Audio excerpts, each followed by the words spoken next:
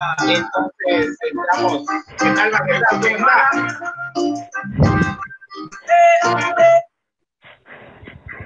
Y así entramos en línea con mi estimado Sope Huelguero.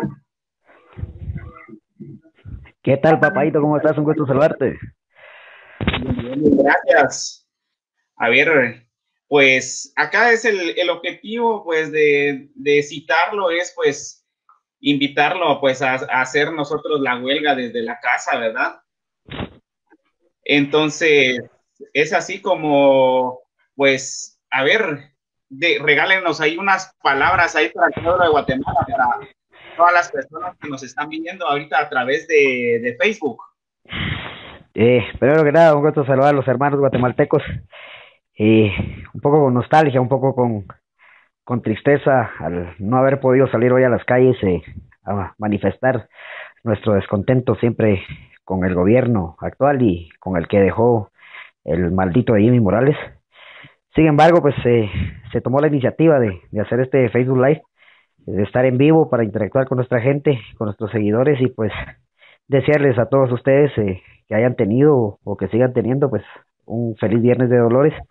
Estamos cumpliendo 122 años de huelga y pues ha sido un honor para mí portar la corona durante ya seis años y ser representante y ser la voz del pueblo y que a través del, de, mi personaje, pues haya mucho pueblo que se desahogue eh, en cuanto a las denuncias que nosotros hacemos con, como, como reyes feos ante las situaciones del gobierno. Quiero saludar a los 22 departamentos de, de Guatemala, que es eh, a los que he visitado y como he estado en los centros regionales bastantes veces, decirles de que este año tal vez eh, ya no se pudo estar con todos ustedes, pero el otro año, primero vamos a salir adelante y, y, y vamos a estar con ustedes eh, en las actividades que ustedes así lo deseen. Muy bien, Sope, gracias ahí por las palabras. Ahí contanos un poquito de la historia de tu personaje, por favor, ahí de dónde sale la, la idea de venir y, y, disfrazarse de un sope para ser eh, la voz del pueblo, para ser la voz de los que no tienen voz. A ver, contanos. Bueno, fíjate de que en el año 2013, acá en el Centro Universitario San Marcos, pues yo, eh, fue algo eventual, algo improvisado, que salgo a, al escenario con el personaje, en ese entonces me recuerdo que se llamaba Chalano, y habían pasado casi como 13 participantes y yo fui el último en subirme a la tarima y todos habían aguantado entre 5 o 7 minutos y yo me quedo casi media hora hablando en la tarima. Gano en ese entonces con el personaje de Chalano. Al, eso fue en el 2013, al 2014 pues salgo y ya con el personaje del Sope Huelguero, un personaje que me lo adjudicó Jesucristo Superestrella, que me dijo, mira, vos tenés que ser el sope y vas a ser el sope, y, y desde ese entonces soy el sope. Eh, fui ganador del Refeato Carnavalesco de Mazatenango en el 2014, de ahí ganó la corona en el, la Facultad de Ingeniería en el 2014. Y de ahí se me abren las puertas para llegar al, al General, y gano en el 2014 también eh, el Refeato General, y desde ahí pues eh, nace el, el Sope Huelguero, es una ave carroñera. Eh, más que todo, lo, todos los huelgueros sabemos de que que es para, para ridiculizar a, a, la policía, a, a, los militares que, que, son carroñeros, que en cualquier rato los cerotes andan viendo de dónde, de dónde sacan pisto. Y pues eh, el sope huelguero ha nacido y aquí estamos, hemos estado activos. Eh, yo les he dicho siempre a todos de que a veces eh, lo importante no es ganar, sino es mantenerse en el ojo del público, en el, en el ojo de, de, de, la sociedad guatemalteca, y pues yo lo he conseguido, estoy ya seis años activo, seguiré hasta donde Dios me dé la vida y la Santa Chabela me, me, me dé su bendición de, de seguirla representando dentro de la huelga de dolores. Y pues en eso estamos, y quiero decirle a toda mi gente, a todos mis seguidores, de que los aprecio, los, los quiero mucho, nos está tocando este encierro tan pisado, mire, mucha puta, por Dios, de que si yo no aguanto a mi mujer, mucha sálvenme de esta mierda pisado, puta. Yo quiero que me agarren los chontes, hombre, aunque sea para pasar unas tres horas ahí en el bote y zafarme de aquí, ya no aguanto, ya no hay excusa ni para salir a ver la casera. Ya no tenés excusa para salir. Mira, yo recuerdo, yo recuerdo haber estado en ese teatro en el 2014. Pues yo también ahí ya tengo ahí unos mis añitos en, en esto, pero es, así me, hay cosas que cuestan, ahora definitivamente a veces ganarse el público y todo. Eh, tener un discurso que venir y que, logre convencer a ese monstruo, porque al final el público eso es lo que es, es un monstruo que tenés que venir y, dominar, ¿verdad? Entonces, a ver, decime, ¿qué te ha funcionado para venir y, ganarte al público? ¿Qué, qué, qué, crees que te ha ayudado para venir y, que el sope se haya ganado el amor de, de su? Bueno, grave. Primero que nada, es un don que el creador me ha dado. No cualquiera hace reír, no cualquiera hace reflexionar a la gente. Y yo en estos seis años pues lo he logrado. Eh, ¿Cómo me ha ganado a la gente? Con mi humildad. Yo siempre he sido humilde. Vos sabés de que el bambú entre más alto está, pues está más inclinado y ante todo siempre la humildad y esa expresión de pueblo que yo tengo, porque yo, yo soy muy campechano, soy muy de provincia, soy muy pueblerino, y cuando salgo a los diferentes departamentos llevo esa expresión y la gente, hay términos que escuchan de pueblo y, y, y, tal vez en su pueblo ya no los mencionan, pero yo los vuelvo a mencionar y se vuelven a recordar. Por ejemplo, chute, va. Chute es una palabra acá en San Marcos muy, muy, muy marcada, va. Chute aquí es metido, vamos. O chute es mirarle el trasero a una patoja, va, ya, puta, así como que, ay, mira ese chutón, va. Y, y el día que yo fui a Guate, expreso la palabra chute y toda la gente se empieza a reír, va, porque ya tenían tiempo de haberla escuchado. Entonces, esa expresión de pueblo, esa humildad que, nosotros manejamos como, como gente de provincia, gente muy sufrida, también te cuento, eh, el coronavirus a mí no me ha matado y ni me va a matar, soy sobreviviente a, a tres terremotos que hemos vivido en los últimos años acá en San Marcos. Y pues la gente me, me aprecia, me quiere porque cuando yo salgo a actuar, yo no voy, solo me subo al escenario, me bajo y me las llevo de estrellita, vamos, sino comparto con la gente vivencias, eh, tengo muy buenas historias con, con, con, hermanos que he hecho dentro de la huelga y, y siempre eh, la huelga ha marcado mi vida y estaré hasta donde Dios me dé fuerza. Ok, mira ahí para, para entretener un poco aquí al público, que a veces es un poco exigente y vos lo sabrás. Yo recuerdo que en esta vez nos contaste algo de, la historia de una tu novia, la Transformer. A ver, contame, ¿cómo, cómo les fue con, con ese amor?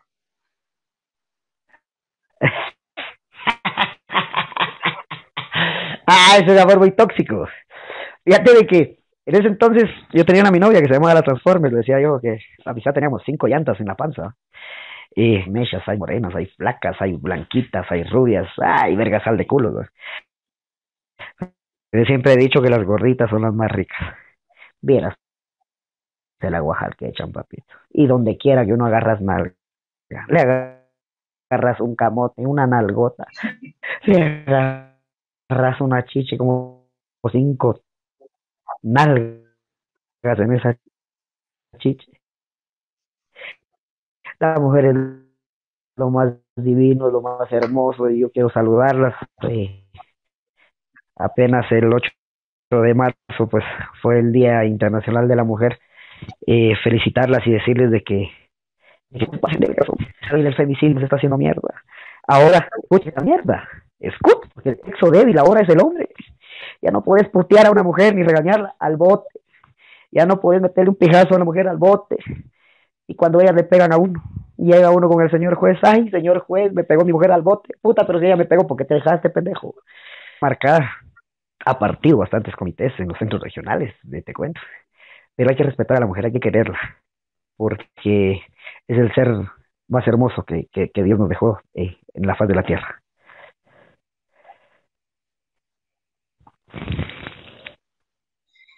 Ok, va, contanos la, una, experiencia más graciosa que has tenido eh, con tu personaje del ah. Huelguero.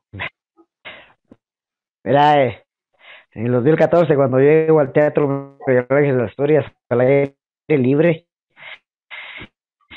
y me siento a la par de unos muchachos que estaban ahí conmigo, así, me estaba tomando un par de cervecitas, los nervios me estaban matando, yo tenía calambrado las manos, tenía calambrado los pies, sentía un hormiguero en la trompa que no tenés idea. Y yo me echo mis cigarritos, dos, y le empecé a pedir fuego a la mía después. Y estuvimos, compartí con ellos, me tomé un par de cervezas, eh, nos echamos un par de cigarrillos.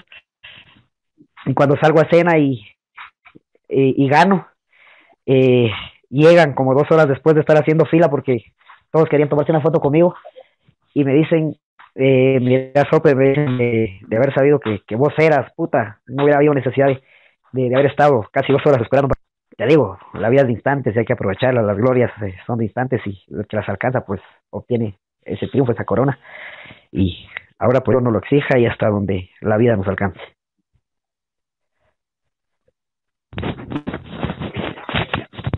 Me llegas, me llegas has tenido alguna experiencia con la policía ahí, alguna vez algo ahí. Mira, un día estábamos por la calle Santander, vamos allá en, Parajachel. Eh, veníamos como el comité de huelga con Sol y habíamos tenido una actividad en una discoteca que se llama LEP. Y nos echamos los tragos, y en eso vimos la, la, patrulla estacionada. Eh, yo de mala cabeza les dije, mire muchachos, les dije, ahí está la patrulla, vámonos a echarnos un guaro allá de la palangana. Así dicen que estamos chupando con seguridad. Y nos subimos a la patrulla. Y nunca nos percatamos que los chontes cerotes estaban tomando café enfrente. Y ya cuando sentimos nos tenían enchachados los cerotes. Y pues gracias a unos contactos que tuvimos en su momento, pues eh, el gobernador llama y nos dejan libres. Y todo por llevarnos las de graciosos. Y, por supuesto, eh, en ese entonces, pues nos dejan libres, salimos para Sololá, y a medio camino nos agarran, no me recuerdo que iba redondo, más que llevó las patas de fuera, y pues para otra vez, ustedes eran los que estaban haciendo un relajón, y puta, ahí abajo, Simón, le decimos, tienen un minuto para irse, mira papá ahí, hasta la capital fuimos a dar con tal de escaparnos de los chones. Pero sí.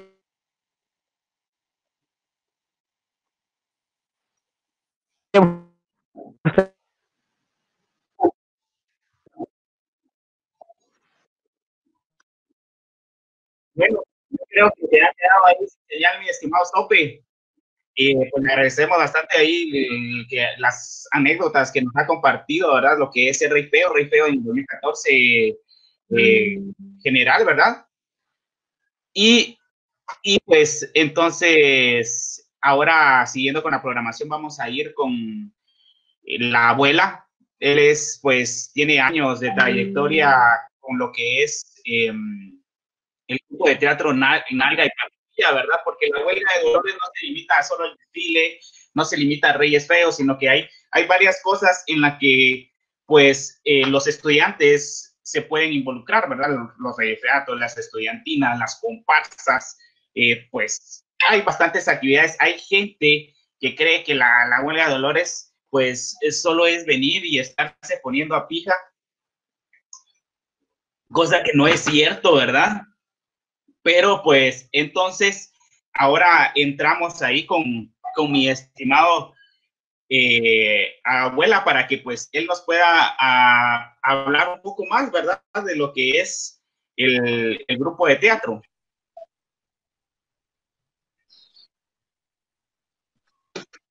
Bueno, bueno.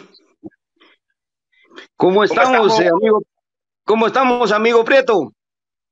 Bien, bien, aquí en aprietos, aquí con la señal de internet, así que Prieto en aprietos eh, aquí, echándose pita con, con, el internet, la tecnología que a veces nos hace mierda o que nos falla, ¿verdad? Eh, solo, eh, si quiere ahí, pues vamos a, darle la despedida al Sope que se volvió a conectar. Así entre los dos le damos, eh, le damos la despedida. ¿Le parece bien? Está bien, está bien, no hay problema. ¿Cómo lo vamos a hacer? Ahorita eh, entra el, estimado nuevamente a, cámaras. Entonces, acá seguimos y al, que nos hizo favor de ir a apagar la señal de internet. Déjale estar hueveando internet a tu vecino, hombre. Eso no, papito, esos, eh, mira vos, esos mierdas de claro no respetaron que este año, este mes no se tenía que pagar, mira, y me, me están cortando la situación. hay, que, hay que pagar puntual. Que mira que estos hijos de la gran puta del Congreso, nada que nos quieren hacer huevos.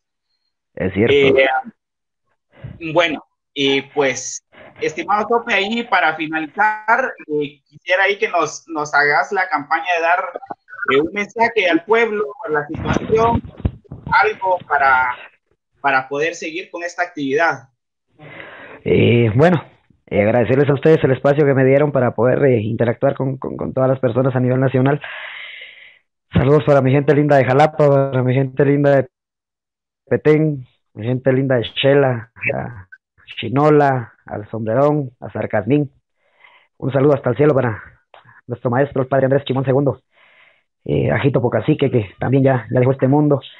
Eh, un saludo a Juan Chapín también, a don David Pinto, Lencho Patas Planas, que yo sé que desde el cielo nos echan su bendición y nos están guardando y siempre están presentes en nuestra memoria, en nuestro corazón a cada huelga, y tal vez no cada huelga, sino en todos los días del año eh, decirle a las personas de que, que no caigamos en zozobra, que mantengamos la calma.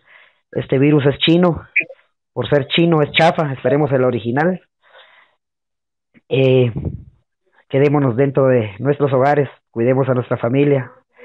Si no tienen protección, busquen un crucifijo y condón. Si no tienen mascarilla, eh, vamos a salir adelante como pueblo guatemalteco. Pero también no nos dejemos llevar por el Congreso de la República, 154 diputados que están creando leyes a favor del CACIF y no han creado leyes en favor y en beneficio del pueblo. Es lamentable que se aprovechen de la coyuntura que está viviendo el país, de esta crisis de salubridad que está viviendo el país, para que ellos estén eh, aprobando leyes en favor de la oligarquía guatemalteca. Exigimos a esos 154 diputados de que se pongan la mano a la conciencia, es cierto, los que trabajan para el Estado al final de cuentas y al final del mes tienen su tienen su salario, pero hay gente que vive del día a día, hay gente que vive por sus ventas, por el comercio, y no es posible que seamos las personas en este momento las más castigadas. Decirle a toda mi gente de Guatemala que, que Dios me los bendiga, que Dios me los guarde. Saludos a todos. Eh, la Santa Chabela me los proteja, vamos a salir de esta y en la medida que, que todos como guatemaltecos eh, hagamos caso a las medidas de salubridad, pues yo creo que podamos a poder combatir esta pandemia a nivel mundial. gracias, mi estimado Sope. Y tener cuidado porque dice que Yamatei allá en San Marcos va a armar un operativo y el mismo cerote va a seguir corriendo atrás de los cerotes que estén afuera a las 4 de la tarde. Y te lo creo, fíjate que Yamatei, yo he visto, anda en malos pasos ese cerote. Así, así me han dicho. Aparte, mira vos que el cerote es cabrón porque tiene tanto el hueso agarrado que él es presidente y es primera dama. le fue bien al cerote dos por uno. Le fue bien al pisado, entonces eh, saludo también a él. Eh, hay que darle el beneficio de la duda, son dos meses que lleva dentro del poder y pues vamos a darle el beneficio de la duda, aunque hasta el momento está huecheando con el casista. Hay que socar a esos hijos de puta y hay que proteger a los guatemaltecos, porque al final de cuentas, si todos llegamos a morir, ¿de qué van a vivir estos mendigos hijos de puta de los 154 diputados y los que nos gobiernan actualmente?